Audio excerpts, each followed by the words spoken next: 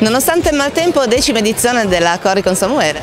Esattamente, eh, siamo alla decima edizione, Speriamo ovviamente che il tempo tenga e ci permetta di festeggiare questa edizione molto particolare perché arriviamo dopo dieci anni di esperienza a un nuovo percorso, ovvero abbiamo cambiato invece di andare nei comuni di Borgaro e di Caselle ci troviamo in Mappano, quindi il percorso si svilupperà esclusivamente all'interno del comune di Mappano partendo da via Borgaro, girando a destra per via Tibaldi e arrivando eh, dentro il Parco Europa, Parco Unione Europea giustamente, eh, di Mappano. Abbiamo due percorsi principali che sono quello da 5 km e quello da 10 km che entrambi entrano nel percorso del Parco Unione Europea.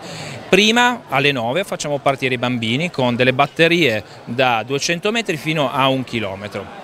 La cosa interessante di questa edizione per noi principale è quella di condividere, condividere un momento di festa come abbiamo fatto nelle passate edizioni proprio con le persone, con i mappanesi ma non solo, con tutti quanti gli appassionati di sport e con tutte quante le persone che amano la storia di Samuele, storia di Samuele che è legata all'associazione Il Sogno di Samuele di Mappano, un'associazione che in dieci anni sono quasi 11 ad agosto, è riuscita a fare veramente molto. Prima per il Chad, con la costruzione di due scuole, una scuola elementare una scuola materna e adesso ci stiamo impegnando per il sostentamento eh, degli alunni ovviamente, degli insegnanti, perché puntiamo molto sull'istruzione, che possa garantire un futuro anche nel loro paese, un paese martoriato non soltanto da carestie che arrivano come in Centrafrica, però anche dal pericolo del terrorismo eh, dell'ISIS eh, o comunque di fondamentalismi.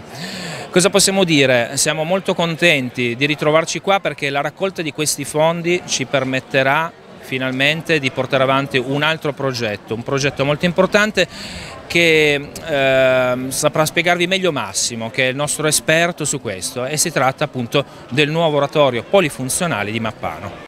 Raccolta fondi per un progetto territoriale, quello dell'oratorio.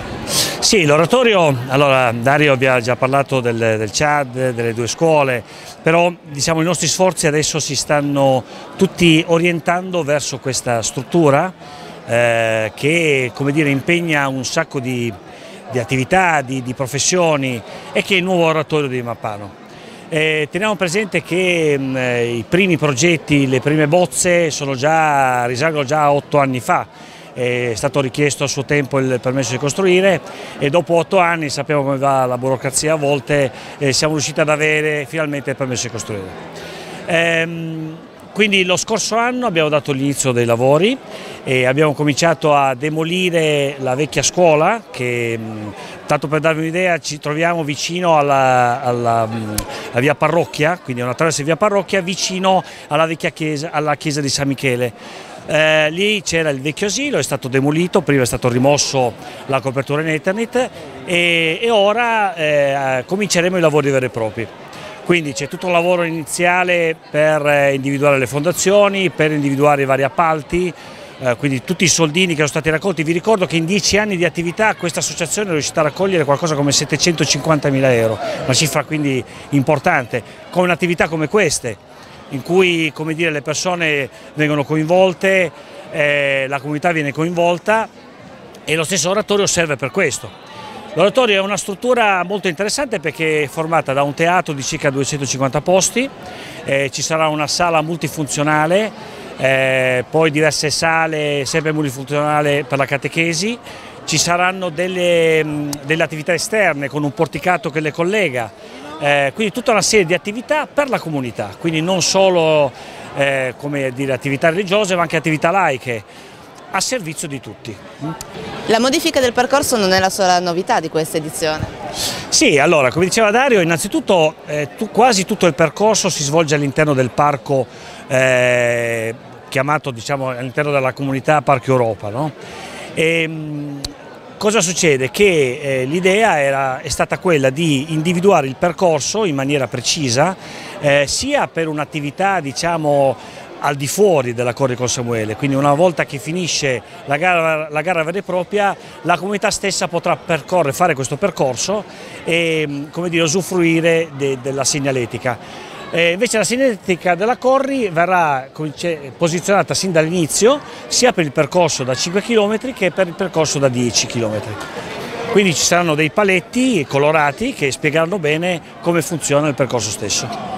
Questa mattina la Corri con Samuele è un, eh, un partecipante d'eccezione. Beh sì, eh, avevo promesso da tempo anche con l'amicizia che c'è con Maria Rosa di partecipare, comunque mi fa piacere essere qui oggi sperando che non piova. Solitamente quante gare partecipa all'anno? Ma 3-4, non molte di più. Ormai sono in disarmo, lo faccio perché mi piace correre, vado a correre, seguo la squadra, ma oggi qui in rappresentanza della mia società ci sono solo io. È rimasta praticamente una passione che non muore mai? No, questa ormai rimarrà per sempre.